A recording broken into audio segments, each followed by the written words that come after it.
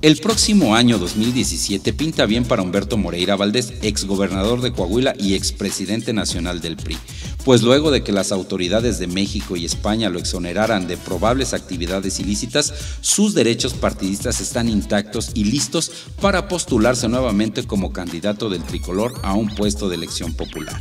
Después de siete meses de caso, la Procuraduría General de Justicia de Coahuila exonerará a Humberto Moreira del delito de enriquecimiento ilícito y la Policía Nacional de España anunció con bombo y platillo que el ex líder nacional priista había sido detenido en el aeropuerto de Barajas Madrid a petición de la Fiscalía Anticorrupción del país europeo.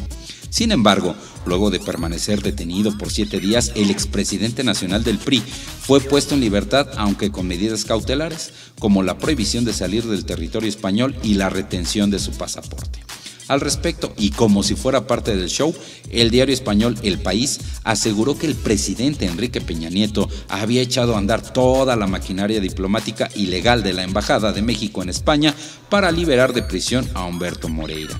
Y para bajar el telón en este teatrito, Enrique Ochoa Reza afirmó que la Comisión Nacional de Justicia Partidaria del PRI no tenía ningún expediente abierto contra el exgobernador, quien actualmente es consejero político por su condición de expresidente del Comité Ejecutivo Nacional del Partido Tricolor. No cabe duda del que con Lobos anda a aullar.